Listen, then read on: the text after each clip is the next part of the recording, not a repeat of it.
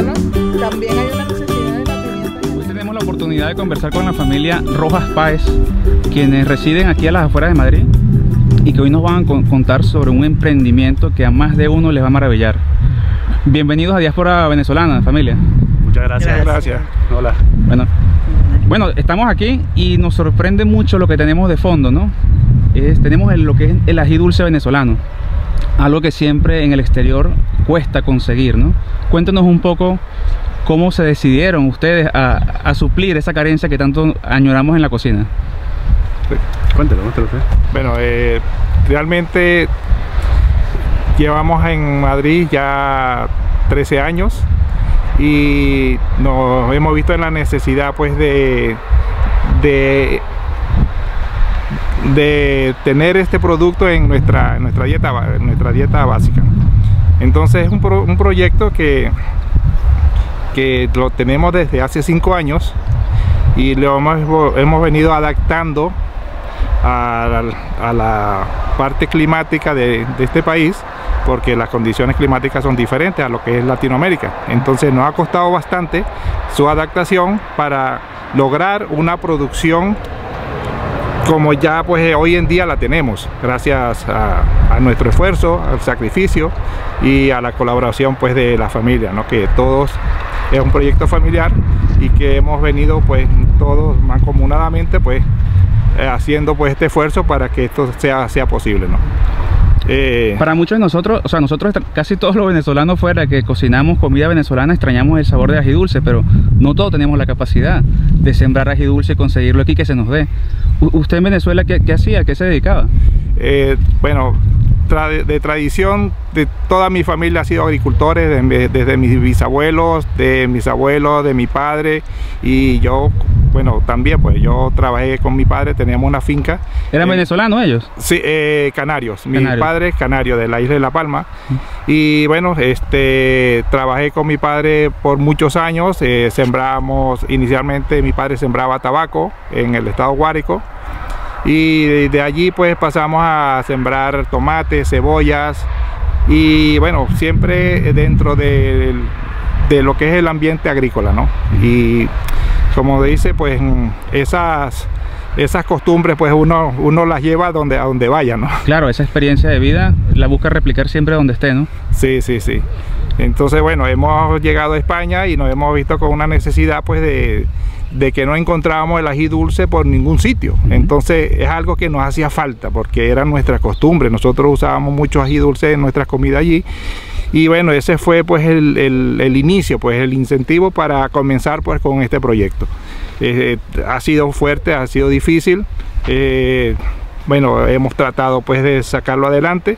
Hoy ya pues podemos decir pues que, que lo, lo estamos logrando, ¿no? Ya las plantas se, han- se nos están adaptando a la, a la situación climática de este, de este país y bueno, ya contamos pues con una cosecha para poder suplir pues a todos los venezolanos que así lo deseen, pues que quieran seguir manteniendo esos sabores y, y esa tradición que, que tanto no- nos arraiga a nuestras costumbres venezolanas.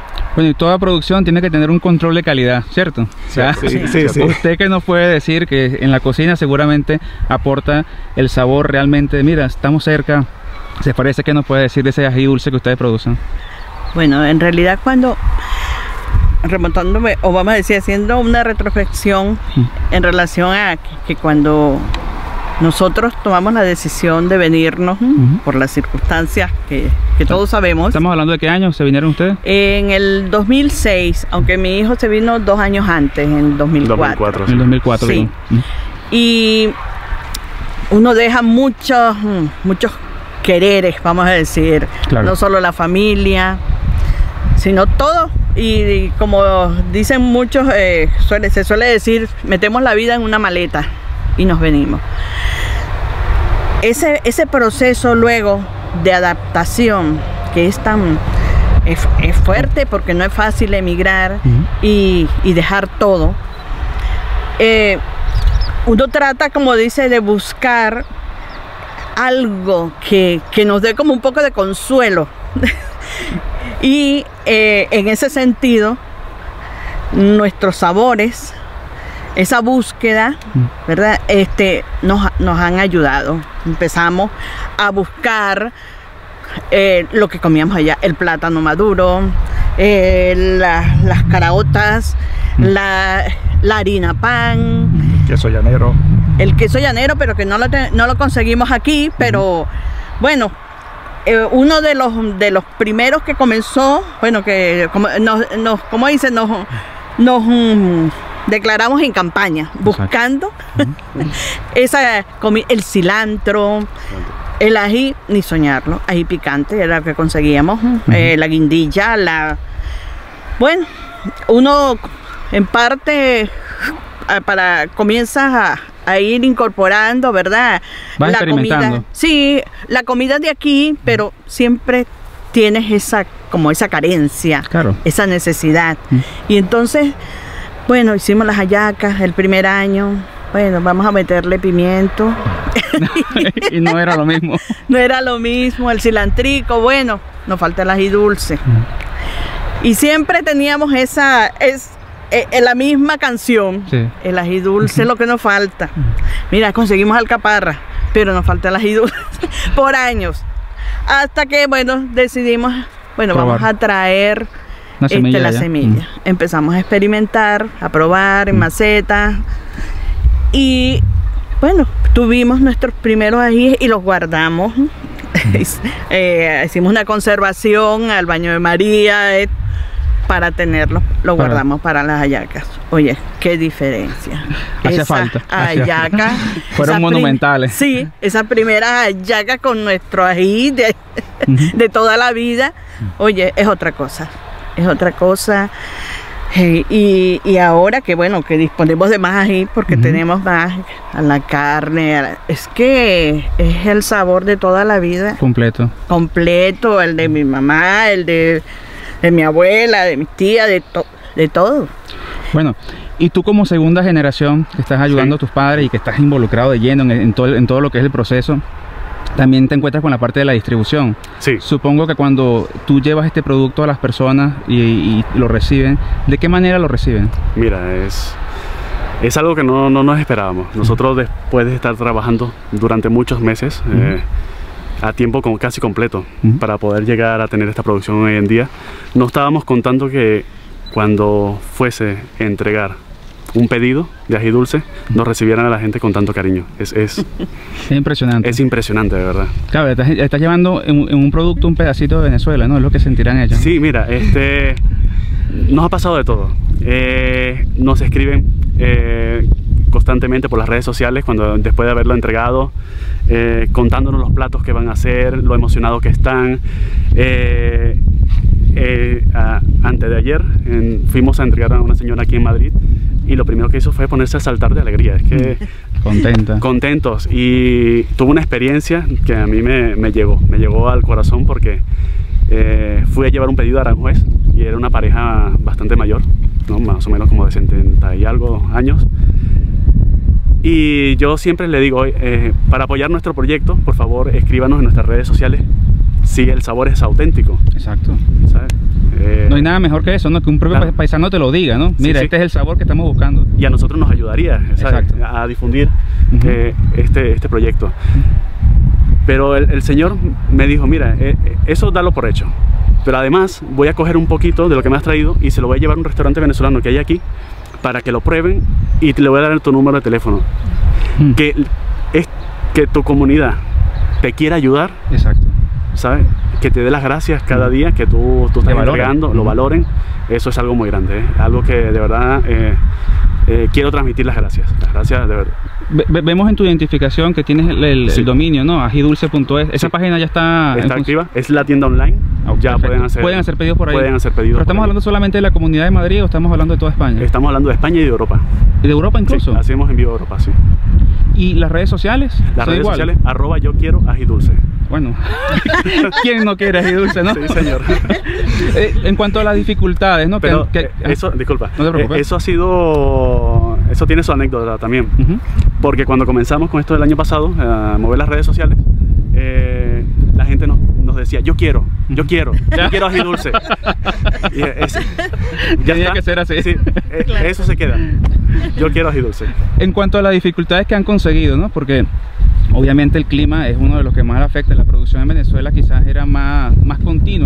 Tenían más producción, una mata de, ají como tal podía dar quizás más, más producto, más, más fruto, ¿no? En, el año. Aquí quizás un poco menos.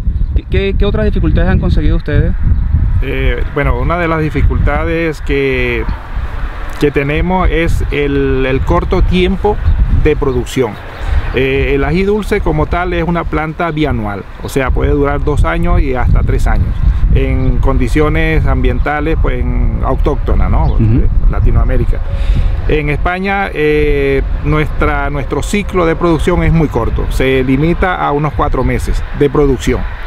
Entonces, eh, recomendamos a todas las personas pues, que nos compran el ají dulce que lo conserven que hay diferentes formas de conservarlo, que mantienen su, su sabor y su aroma original.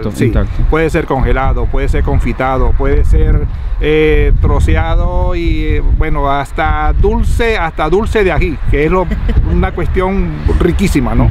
lo, estamos haciendo. No, ¿no? lo he probado, ya lo tengo ahí anotado entonces. Pues lo vas a probar porque sí, sí, lo tenemos también. Entonces, pues esas son una de, las de nuestras limitantes, es el, el corto tiempo que tenemos para lo que es la parte de la comercialización, cosecha y comercialización. Y bueno, la invitación entonces para todos los paisanos que no lo conozcan, que visiten su, página web, sí. ajidulce.es. Y antes de irme, quería comentarte algo, quería preguntarte algo, porque tú eres hijo de inmigrantes. Sí. Y hicieron vida en nuestra Venezuela. Tú también fuiste inmigrante desde, muy pequeño, ¿cierto? Sí, sí, sí, sí, Y ahora te tocó hacer este, este viaje de, de vuelta, ¿no? De regreso, sí. Si las circunstancias del país cambiaran, si algún día lo que está pasando por allá deja de pasar, si esa desgracia se termina, ¿tú te, tú te ves en, tu, en, un, futuro en esos llanos guariqueños? Mira, cuando nosotros nos vinimos para acá, o sea, esto fue un proyecto de, o sea, siempre de familia, ¿no? Porque gracias a Dios, pues somos, somos unidos, una familia unida. Y siempre todo lo, lo hacemos consensual, ¿no? O sea, tomamos las decisiones en familia. En, familia, ¿no? Entonces, eh, nuestro proyecto era venirnos nosotros para acá y estar, o sea, estar aquí seis meses cuando ya nos jubilemos y seis meses irnos a Venezuela. Ese era nuestro proyecto. Lo ideal. Hoy en día, pues, eso pues no, no procede, ¿no? Hasta que aquello no cambie. Pero sí añoro Venezuela, Venezuela la llevo.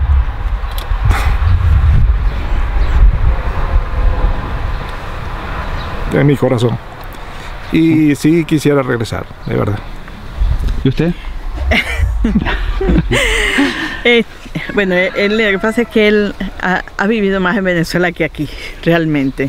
Es un venezolano con origen canario, simplemente. Sí, sí, sí. Claro, eh, cambiando las condiciones que nosotros todavía tenemos nuestra casa en Venezuela.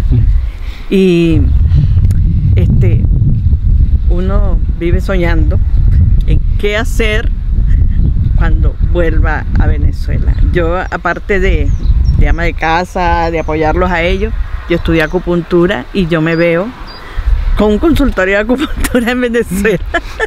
Claro. Soñando con eso. Sí, sí. Bueno, y tú, que ya tienen este proyecto aquí armado y, que va a triunfar y que ya está triunfando, pero que va, o sea, estamos viendo solamente el comienzo, ¿no? Sí. Y de todas maneras, ¿tú piensas que en un futuro en Venezuela te ves allá de repente volviendo o están visitando? Mira, eh, soñar a lo grande. Sí. Ahí eh, entraría Venezuela, siempre. Y yo lo veo de esta forma. Eh, yo llegué a España con 19 años, ya llevo 15 años. Y aunque los planes iniciales eran distintos, pensaba que bueno, podría yo hacer una profesión en España y volver a Venezuela y, y llevar lo que hubiese aprendido, mis experiencias por estas tierras, ya las cosas son distintas. Eh, yo pienso que hoy en día eh, quizá puedo tener hijos aquí, Eso, esos hijos van a ser...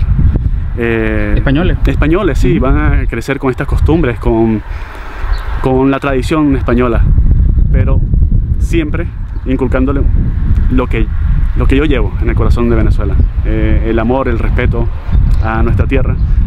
Y puede ser que un día yo vuelva y mis hijos puedan volver también.